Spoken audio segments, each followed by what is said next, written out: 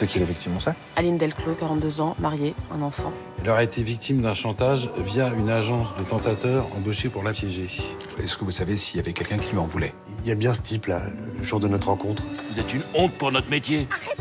Laissez-la, là, laissez-la Vous êtes ici parce que vous cherchez de l'argent. Je cherche des investisseurs, oui. J'imagine qu'on parle d'un établissement de haut standing, non? Tu vois, Elisabeth Bastide misée sur un dispensaire. J'ai déjeuné avec mon père ce midi et je lui ai parlé d'autres projets. Eh bien, c'est très gentil de votre part. Évidemment, je serais ravi de le rencontrer. Rendez-moi mon téléphone Pour que ces types se soient pris si violemment à deux gamins, euh, c'est qu'ils ont un gros truc à cacher, c'est sûr. Vous avez la plaque? Ah merde, ils ont repéré le drone Non, c'est bon. Bon, bah maintenant, il n'y a plus qu'à le rentrer dans le fichier et on aura le nom du propriétaire.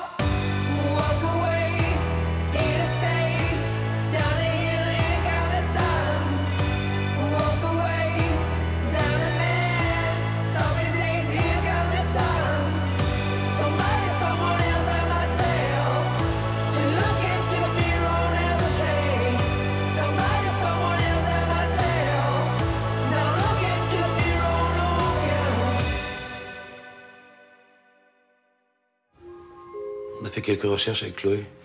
Cette camionnette appartient à une entreprise de recyclage des déchets toxiques. Qu'est-ce qu'elle fout là en pleine nuit? Bah, justement, c'est ce qu'on se demande. C'est bizarre. En plus, le chauffeur avait vraiment l'air sur les dents, comme s'il avait peur qu'on le surprenne. Monte le chauffeur? Bah, c'est lui. C'est le mec qui nous a agressés et qui a pris le téléphone de Robin. T'es sûr? Ouais, sûr. Qu'est-ce qu'ils foutent? Je sais pas, mais c'est pas clair leur truc. Non, c'est pas clair.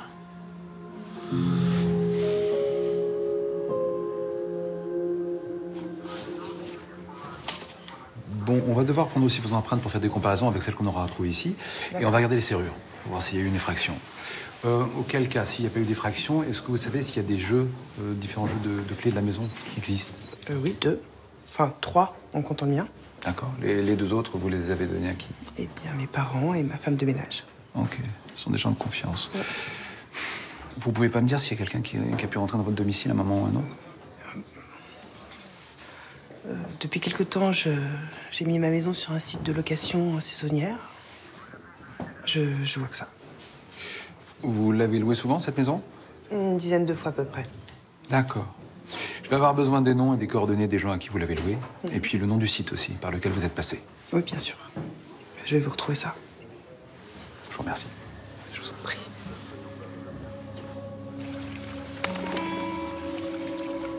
Je sais. Attends, je te rappelle.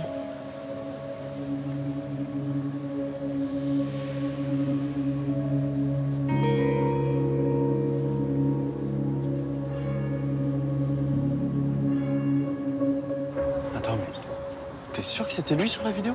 À 100%. Apparemment, la camionnette appartient à une entreprise qui traite des déchets industriels. Non. Mais tu crois qu'il fout de quoi? Je sais pas. Mais ces mecs sont chelous. Mais en tout cas, c'est trop bien que ton père ait pu choper ces images. On va pouvoir les coincer? Non, on va pas pouvoir les coincer tout de suite. On sait pas exactement ce qu'ils font. Non, mais c'est une preuve qu'il magouille un truc. Non, c'est pas une preuve. Mon père m'a dit que tant qu'on sait pas exactement ce qui se passe, on peut rien faire. Puis on connaît même pas son nom, ce mec. Je suis sûr que ça va le faire. Nos parents font une bonne équipe. Je vais pas dire que c'est un conte de fées. Il y a eu des hauts et des bas, comme dans tous les couples. Je pensais qu'on se comprenait. Qu'on est dans le même sens.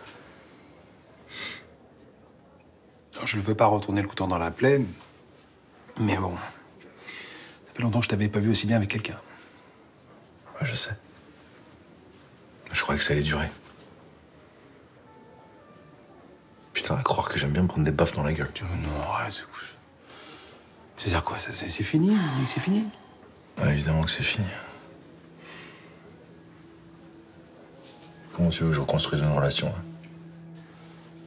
Je, je sais bien que cette histoire d'agence de tentation soit difficile à avaler. Mais est-ce que c'est une raison suffisante pour rompre avec elle? Elle a été dans la séduction. Elle a dragué, d'accord, mais c'était pour piéger. C'était des clients, c'était le boulot. C'est pas aller plus loin. Enfin, je crois pas. Tu, tu crois que ça allait plus loin, toi, c'est ça? Non, c'est pas ça. Bah alors Tu l'aimes, pourquoi tu t'infliges ça? Elle m'a menti, Alex. Elle m'a menti tous les jours. pendant des mois. Comment tu veux que je lui fasse confiance, là un peu radical, Manu. Franchement. T'as besoin de temps. Foutu en l'air. Alex Cédric Loupiac est arrivé, il attend en salle d'interrogatoire. Ok. Merci. Vaut mieux que je passe l'éponge sur tout ça, tu vois. C'est mieux.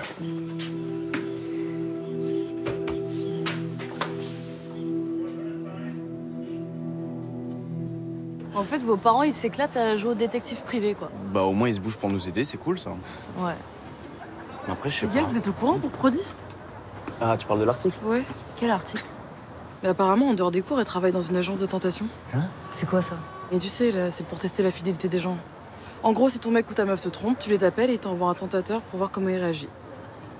Attends, Prodi elle fait vraiment ça Oui. Genre, elle chauffe des mecs mariés pour voir s'ils sont fidèles. En gros, Et tu savais, toi? Bah, c'est mon père qui a écrit l'article. Il y a un mec qui a témoigné. Et toi tu sais ça et tu dis rien. T'es vraiment égoïste hein Non, mais je sais pas, c'est gênant pour elle si tout le lycée est au courant. Ah non mais du coup si le mec cède à la tentation, ils couchent ensemble? Sûrement, hein. C'est chaud. Ouais, ça s'appellerait limite de la prostitution quand même. Mais non, mais arrête de délirer, elle couche pas avec eux. T'es un peu naïf là. Mais non, elle est censée les tenter, juste les séduire. voilà, c'est ça. Puis au pire, elle fait ce qu'elle veut de sa vie privée, qu'est-ce que ça peut vous foutre? Ouais, j'avoue, on s'en fout. Franchement. Mais ça fait bizarre quand même. J'étais en mauvais terme avec Aline Delclou. Je veux pas le cacher, c'était pas un secret. Ou pas nous en prendre physiquement à elle? Ça dépend ce que vous entendez par s'en prendre physiquement. On nous a rapporté une scène assez musclée entre vous. Disons que je l'ai un peu malmenée. Qu'est-ce qui vous opposait à Madame Delclos Vous aviez quoi à lui reprocher? Un des taureaux de sa manade a failli tuer mon fils. Il a survécu, mais restera handicapé toute sa vie. Ces bêtes sont dangereuses, beaucoup trop agressives. Mais c'est un peu ce qu'on attend des taureaux de ce genre d'exploitation, non? Enfin, je veux dire qu'ils soient agressifs. Ouais, Jusqu'à un certain point. Mon gosse y a laissé une jambe et c'est pas normal. C'est pour lui que je me bats aujourd'hui.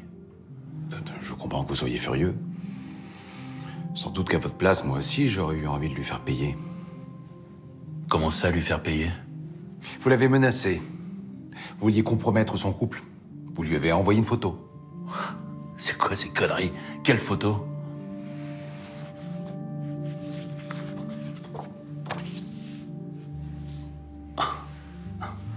Le message anonyme qu'elle a reçu avant de mourir, c'est vous qui l'avez envoyé, non?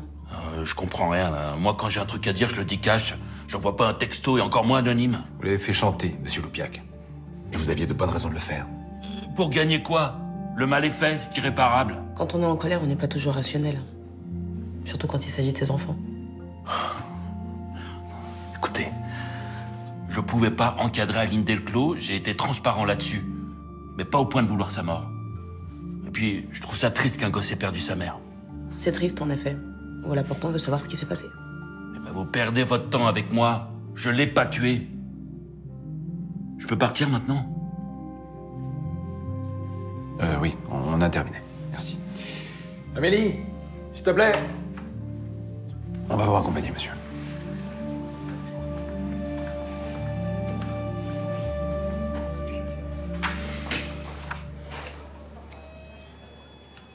Le planning est fixé depuis une semaine. Ça va être compliqué de le modifier maintenant. Je sais bien, mais ce serait juste un échange. Je vous promets que ça n'affectera pas le fonctionnement du service. Bon, je vais voir ça. Excusez-moi, j'ai un problème avec la prescription du patient de la 212. Vous savez qui s'est occupé de son admission? Il est rentré quand? Hum, Jeudi dernier. Non, je sais pas. Et je dois vérifier le planning de toute façon. Je vous dis ça à la fin de la semaine? Viens avec moi. Ah, tiens, Laurine, je voulais vous voir. Euh, ça y est, j'ai déjeuné avec votre père tout à l'heure. Oui, je sais, il me l'a dit. Je suis contente que ça ait pu se faire. C'est grâce à vous.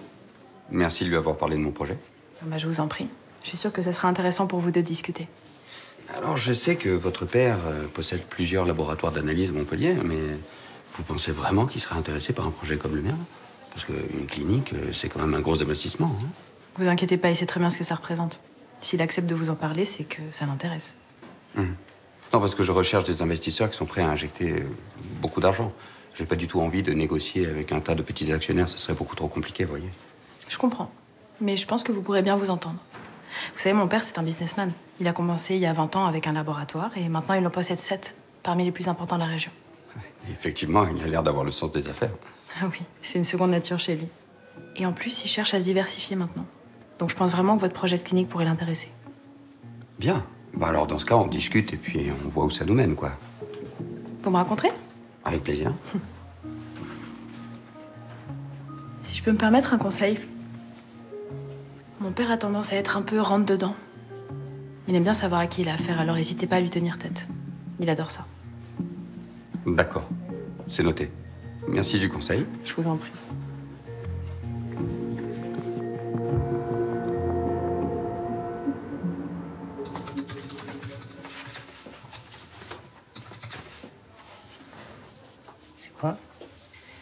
J'ai fait une petite recherche sur la société de traitement des déchets industriels dont tu m'as parlé.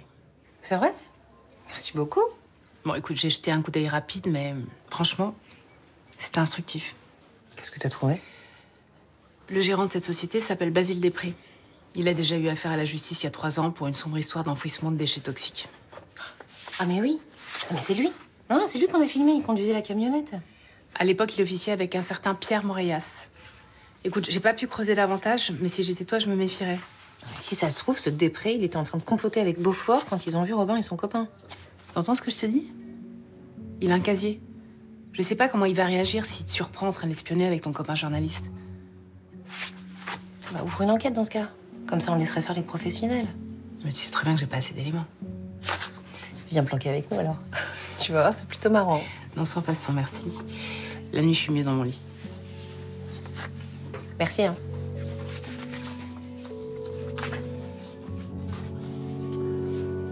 Interrogatoire de Loupiac, là, ça a donné quoi?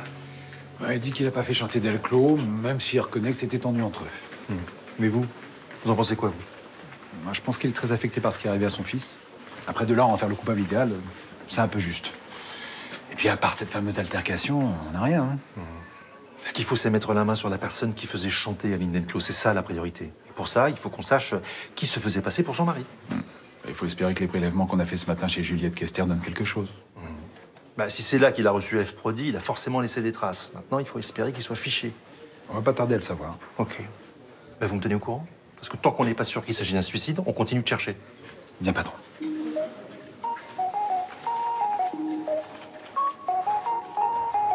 Moi, mon idée, c'est très simple. C'est de replacer le patient au centre du processus. Quand on est soumis à des cadences aussi infernales, bon, les erreurs de diagnostic sont fréquentes.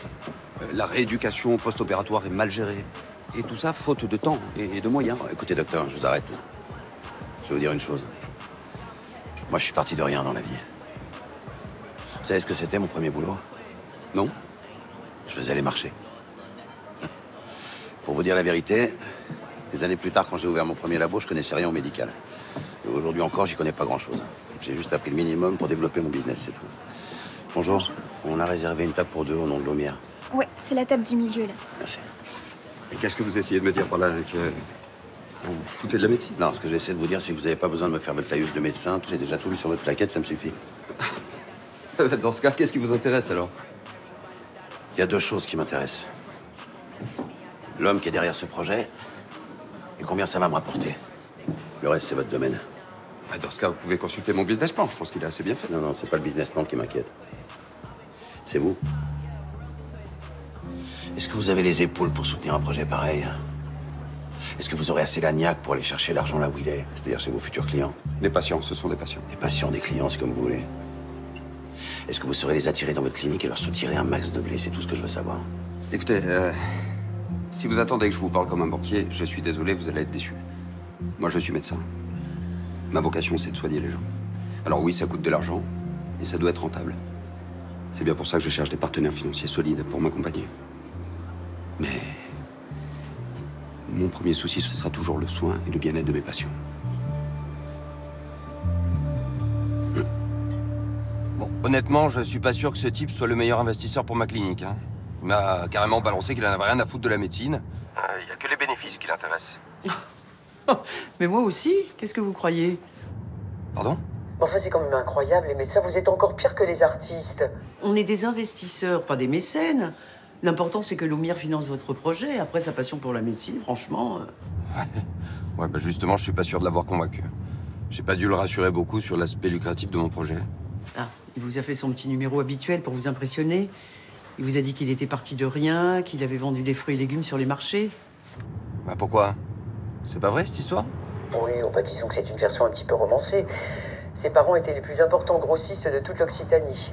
Donc vous voyez qu'on est loin du petit miséreux qui gagnait 3 francs 6 sous en vendant des patates. Ouais, d'accord. Donc il s'est bien foutu de moi, quoi. Non, mais non, c'est pas bien méchant.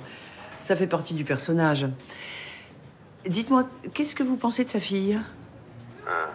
Laurine? Oui, on m'a dit que c'était une très bonne interne. Ah bah, elle est même brillante. Elle a fini major de sa promo. Elle a des intuitions très sûres, euh, beaucoup de finesse dans ses examens cliniques. Pourquoi vous me demandez ça? Parce que c'est le talon d'Achille de son père. Il ne jure que par elle, il lui passe tout. Donc si vous décidiez de l'associer à votre projet, ça aiderait peut-être Lumière à miser sur vous. Pensez-y. En plus, si elle est aussi brillante que vous le dites, ça fera une très bonne recrue pour la clinique.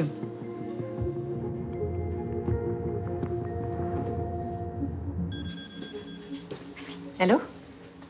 Bonsoir Chloé, je vous dérange pas Non, pas du tout. Me dites pas que vous êtes déjà en train de planquer. Si. J'ai trouvé un super emplacement juste à côté de l'usine de recyclage de Després. De là où je suis, je peux observer toutes les allées et venues des camions. Ah, mais c'est super ça, ça peut nous apprendre quelque chose. Bah oui, c'est possible. En fait, selon moi, Louis et Robin ont surpris sans le savoir ces deux types en train d'enfouir des déchets toxiques sur l'exploitation de Beaufort. Ouais, c'est ce que je pense aussi. Et c'est pour ça qu'ils ont pété un plan quand ils les ont vus en train de filmer et qu'ils ont pris le portable de Robin. Ouais, et pour pas être emmerdés, ils- ont tout fait pour leur faire porter la responsabilité de l'agression. Ça se tient. Ils peuvent se faire beaucoup d'argent hein, en enfouissant les déchets plutôt qu'en les recyclant. Il va nous falloir des preuves. Ouais, c'est pour ça que je surveille les camions, là. Hmm. Apparemment, ils font ça la nuit. Je vais planquer tous les soirs jusqu'à ce que Després amène une nouvelle cargaison chez Beaufort. Vous êtes sûr de vouloir vous infliger ça? Ça peut être long. hein. Je veux savoir ce qui se passe. Et surtout, je veux comprendre pourquoi nos enfants se sont retrouvés dans cette situation. Bon, bah vous m'appelez s'il y a du nouveau? Je vous rejoindrai tout de suite. Ça marche. À bientôt. Bon courage. Merci.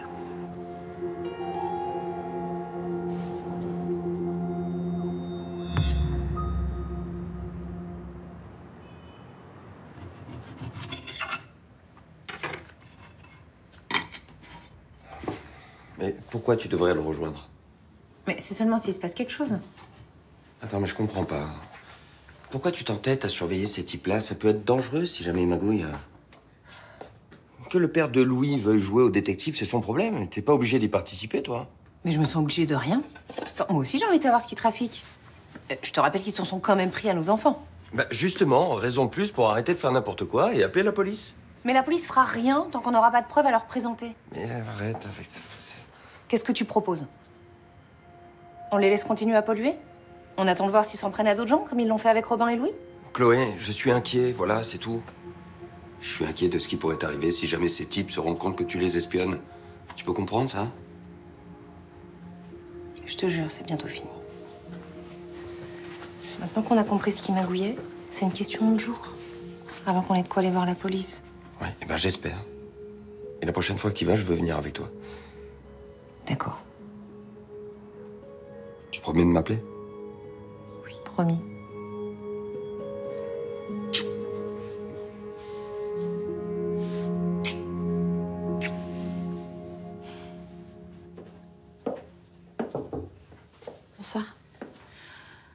Entrez, asseyez-vous.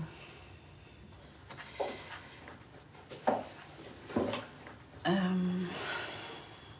il faut qu'on parle de cet article du Midi Libre. Est-ce que vous confirmez ce qui est écrit? Vous avez monté une agence de tentation? Oui.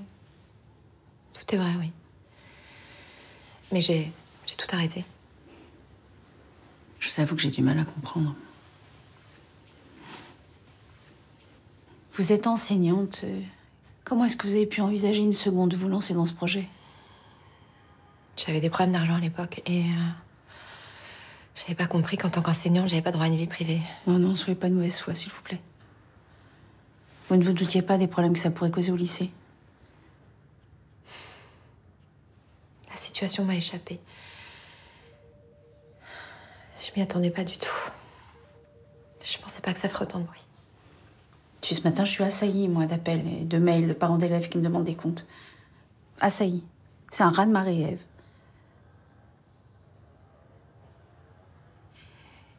Et je n'ai pas eu d'autre choix que d'en informer le rectorat.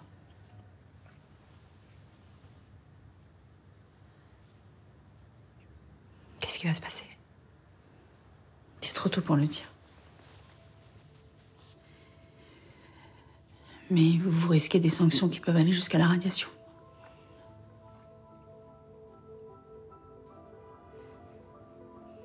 C'est tout ce que vous avez à me dire? Pour aujourd'hui, oui. Et bien sûr, j'espère qu'on n'en arrivera pas là. Vous serez tenu informé des suites de cette histoire.